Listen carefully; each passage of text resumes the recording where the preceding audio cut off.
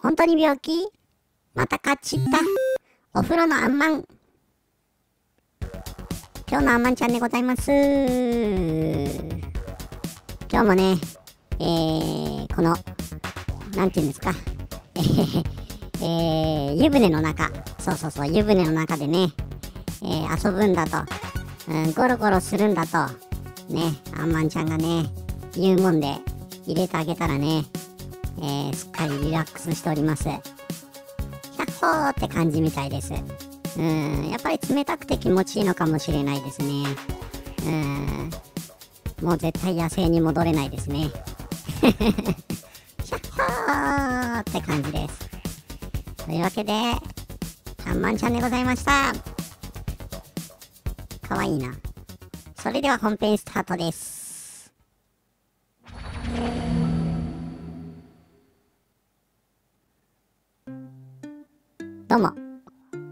ちいさんが出てきません。あ、出てきた。どうも、ちいさんです。どうも、遅くなりました。ちいさんです。言っております。えー、なめにこのね、えー、カードコレクション、今日もやっていきますよ。さあ、何が出るのかなうん、ちょいっと、ね、ちょいっと取ってね、えー、中を確認しておきます。中には何が入っているのか、ね、カードが入っているのか、カードじゃないのか、まあカードなんですけどね。うん。バトルカードゲームっていうことですね。で今まで持ってるバトルカードをね、ここに並べてみました。うん。さあ、今回は被るのか、被らないのか。これは被りましたね。この3種類しかないのかな ?4 種類か。しかないのかな？うん。でもカードバトルができるらしいけどね。4枚でカードバトルするのかなうん。それもね、えー、面白いんだか、面白くないんだかわかんないよね。うん。ドローとかって言ってね、えー、カードを取ったらすぐなくなっちゃう感じだよね。まあ、えー、よく遊戯王もよくわかってないんですけどね。うん、というわけで、今回はこちらでございます。任天堂 d s ライト本体エメラルドネイビーですね。購入価格税込500円ということで、えー、それが価格は2270円ですね。本体だけの価格で、えー、この値段ついてました。どうです？綺麗なんですよね。で、前面のアドバンス指すところもあるし、なんかゲームソフトが1本入ってるし、うーん、まあ大したソフトじゃないんでしょうね。で、あとは、ボタンもね、大丈夫なんですよね。割れもないし。というわけで、えー、購入してきました。まあ500円ならね、いいかなと思って。さあどうでしょうか金額はね455円で税込み、えー、500円ということですねこれね傷がついてんのかと思ったらねシール汚れがね結構ついてんだよねでこのシール剥がしにくいやつだったんでねこういうのどうするかっていうと、えー、シール剥がしもいいんですけどあれ臭いからえー、断然ね、ジップオイルの方がいいですよ。もうね、ジップオイルはね、まあレトロゲームやってる人ならね、一本用意しといた方がいいと思う。うん。ただね、あの、火には気をつけてくださいね。うん。まあ、気化しやすいんで、えー、ね、近くで火を使わないことは重要ですね。で塗ってよく染み込ませて、えー、あとはねほっとくだけ乾くまでね乾いて取れるのか取れないのかね後でちょっと見てみてくださいで裏もこれ傷かと思ったらシール汚れなんですよだからこういうものはね綺麗になるんでさあ、ゲームはなんだ？あ、脳トレですね。まあ、うん。まあ、おまけでついてくるわなっていうようなね、ソフトですね。こちらゲーマー用、ゲームボーイアドバンスのね、えー、蓋ですね。で、あれがないですね。ペンがないです。まあ、ペンは安く売ってるんでね。うん。ぜひ、えー、Amazon とかでね、ペンは購入すればいいと思います。さあ、液晶も綺麗ですね。ボタンもちゃんとしてます。うん、十字キーも問題がないです。ただここに指ずれの跡があるかな。これが清掃で綺麗になるかどうか。電源も入りますね。グリーンランプ点灯。ただちょっと画面が黄ばずんでるかな。うーん。尿液症ですね。いわゆる黄色くなった尿液症。うん。お小水の尿ですね。尿液症。うん。まあでも、見やすいよね。十分十分。私はね、結構 DS ライトが好きで、あの、見かけるとね、ついつい買っちゃうんですよね。高いのは買わないんですけど、やっぱり800円以下ぐらいだったら買っちゃうかな。備品だったらね。うん。で、特に今回も、まあ、備品っていうほどではないんだけど、綺麗な方だったんでね、買ってみました。うん。ちょっと尿液症がね、うん、問題あるのかもしれないですね。問題っていうか気にしなきゃいい話なんですけどね。うん。まあ、あとはね、私の初期設定でやるのはね、これですね。ゲームボーイアドバンスを上の画面でやるか下の画面でやるか。で、私は上の画面でやりたいんで上にするんですよね。まあこれは好みですよね。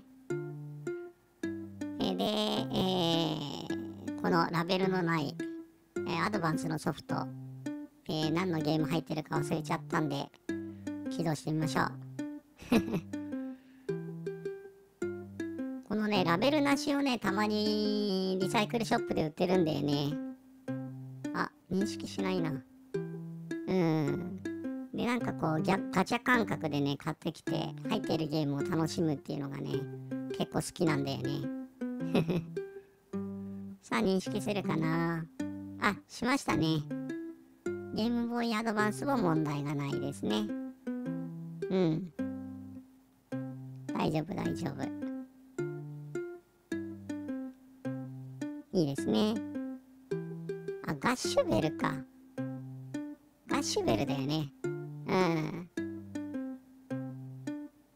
あれだな。また忘れちゃうだろうけど。覚えとこう。ガッシュベルでした。さあ、それではね、清掃していきましょう。まずはこのシール汚れをね、取っといた方がいいですね。このシール汚れ何で取るかっていうと、こちらです。ジップオイル。これでね、もうすぐ取れるよ。うん。ほら。もう取れた。うん。はい、取れた。はい、消えたみたいなね、感じでね。はい、取れたみたいよね。うん。何言ってんだかよくわかんないですけどね。いやー、昨日ね、朝方までね、ライブ見てたんで、寝不足なんです。どうも、プニです。元気ですよ。でも元気ですよ。うん、楽しかったな昨日もなというわけで、えー、こんな感じですね。シール汚れはもう全く綺麗に取れます。うん。だからジップオイルでね、えー、例えば食器買ってきたシールド剥がすといいよ。でこれアビリティクリーンです。アビリティクリーンで一回ね、拭いていきます。さあ、綺麗になるかな。一応、あのー、ジップオイルが乾いてから、えー、違う薬品は使って薬品っていうかね溶剤は使ってくださいね混ざると危険なものもあるからね。こんな感じかな。やっぱり綺麗なんだよな。うん。な感じですね。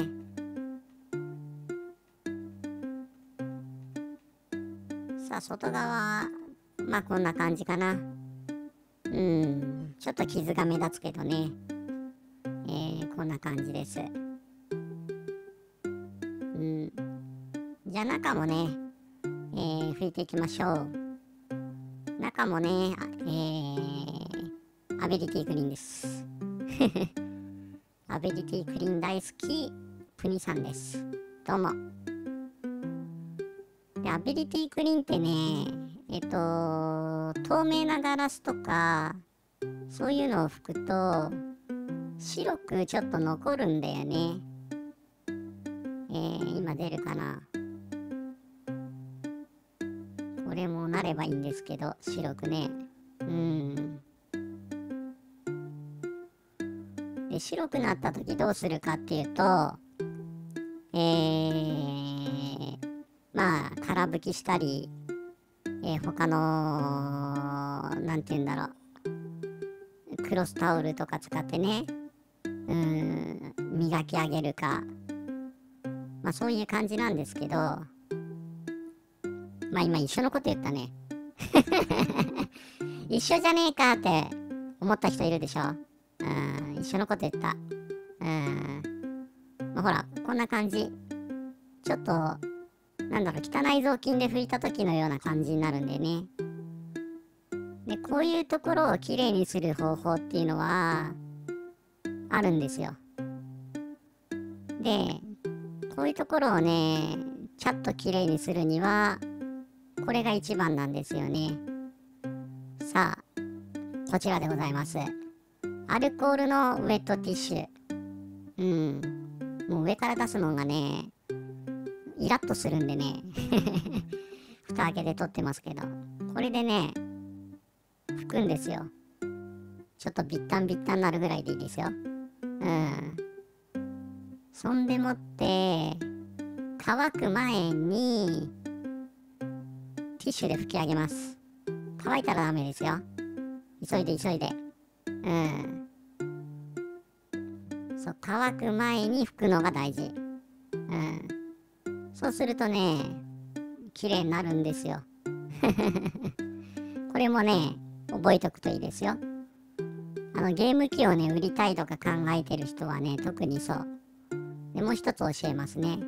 うん、ゲーム機を売りたいと、綺麗に見せたく、見せて売りたいと考えてる人向けのね、えー、もう一つの方法があります。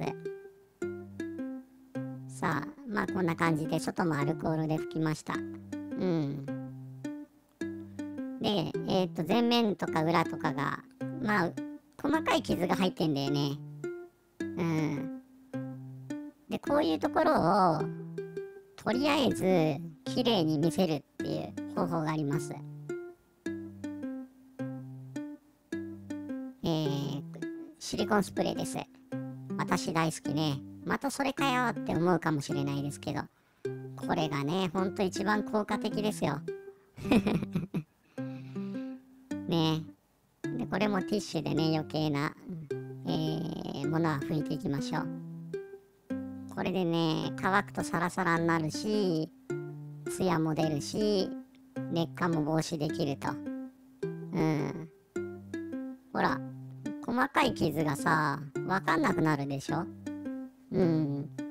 まあ当然、シリコンがさ、落ちてくればさ、また元に戻っちゃうんだけど、例えばこれでゲーム機を売るとかね、うん、そうすれば、お、綺麗じゃんって言って買ってくれる人がいるかもしれないですよ。私みたいにね。で、乾くとね、ツルツルになりますし、汚れもつきにくくなるんでね。ただプレイ中にね、この本体を落とさないように注意してくださいね。うん。まあこんな感じですね。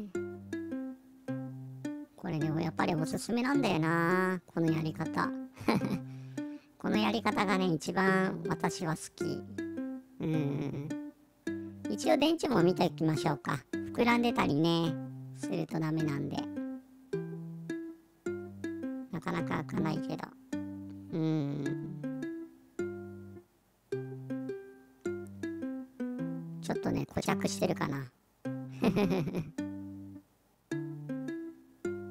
よし開く。これね結構ぎっちり入ってるんでね開きづらいですね。で、えー、電池ですね。問題ないですね。でこれも水没してないですね。水没するとあそこが真っ赤になります。問題ないですね。なんか汚れがついてる。うん。大丈夫です。じゃあ端子部はね清掃していきましょう。やはりね、えー、端子が汚れてると熱も持ちますからね。変な抵抗が生まれて。というわけでここもね接点強化剤で磨いております。よ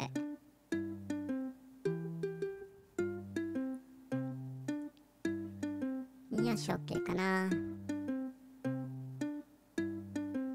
で、えー、電池しまってネジですね。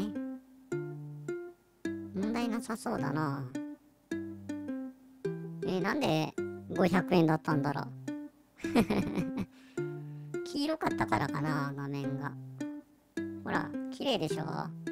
最後ちょっと空吹きしましたけど。うん。これはいいですよ。うん。劣化も防止できるし。いやもうねずっと DS ライト磨いてたい。でこちらの内側もシリコンスプレーなんですけど直接かけるといろいろ入っちゃうんで、えー、内側はね、えー、まあタオルとかまあこういう布にね含ませて、えー、磨く感じがいいですね。でこれはねあれにならないからい雑巾で拭いたかのようにね。そんな感じにはならないんで。でツヤも出てきたでしょ？うん。こんな感じでございます。これあと磨き上げればね綺麗になりますよ。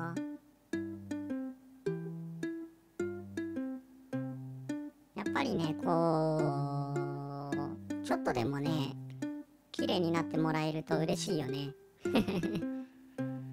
そう私も DS ライトは結構持ってるけどこうたまに出してね磨きたくなるもんね。さあ綺麗になりました。こちらが DS ライトでございます。やっぱりこの機械いいよな。デコボコしてないしカバンにスッと入るし大きさも手頃だし。で画面が2画面でしょ？で DS とアドバンスのゲームができるでしょ？うーんこれ以上の機会がねないと思うんですよね。あとはゲームボーイアドバンス SP か。うーんあれなんかもいいんですけど。あれゲームボーイができるんでね。ただ液晶がね載せ替えたいよね iPS 液晶とかにね。うーん。でも IP iPS 液晶のね部品を買うのと載せ替えたやつのと買ええ買うのと4000円ぐらいしか変わんないんですよね、ま手間を考えたら4000円出しちゃった方が安全な気はするよね。動いてるもの送ってきてくれるわけだから。さあこちらもねアビリティクリーンで拭いていきますが汚れてないですね。うん。問題なしですね。でこっちも拭いてみますけど。うん。こっちはちょっと汚れてるわ。こんな感じ。うん。これね、細い綿棒を使ってるんですけど、これ結構便利ですよ。うん、あのイヤホンジャックとかちょうどぴったりね、清掃できるんで、ズボズボしながらね。さあ、こんな感じでございます。で、えー、コンダクトスプレーですね。これを入れときます。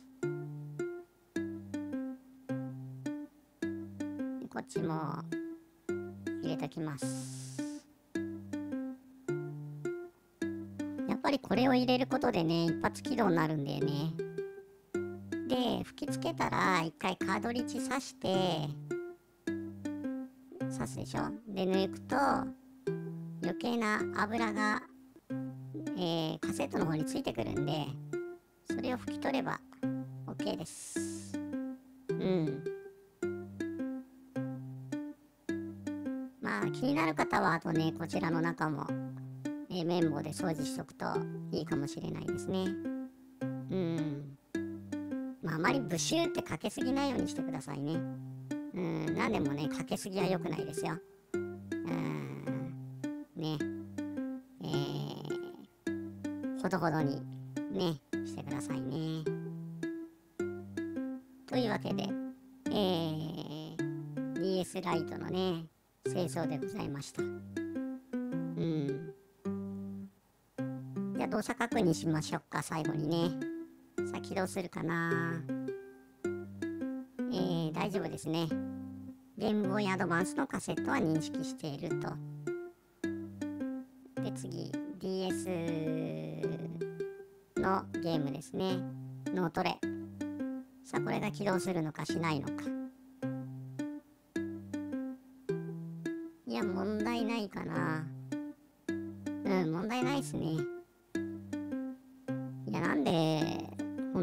と500円だったのか不思議だよなこれな。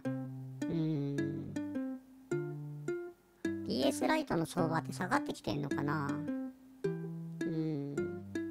結構名機だと思うんだけどな。というわけで、えー、こちらのね、えー、なんて言うんですかね、指の擦れた後はね、残らな、あ綺麗にならなかったですけど、あとはね、綺麗になりましたというお話でした。どうですか？綺麗になったでしょ？皆さんもね、家にあるポータブルゲーム機をね、ぜひ清掃してみてください。ね外に持っていくものだから手垢だったり砂ぼこりだったりとか結構ついてるんですよね。だからねたまには清掃してあげるのもいいかと思います。というわけで、えー、ありがとうございますちいさん。ねえー、今日も綺麗になりましたというわけで私大好き DS ライトを、えー、またまた買ってしまったとうんいうお話でもございました。というわけで、バイバイ。うん。これ、ちいさん持って帰るんですか？持って帰ると言っております。というわけで、えー、今日も見てくださってありがとうございます。よかったらね、チャンネル登録、コメント、評価いただければ嬉しく思います。えー、またね、なんかこういう商品がありましたら手に入れてきますんで、是非チャンネル登録して待っててねバイバイ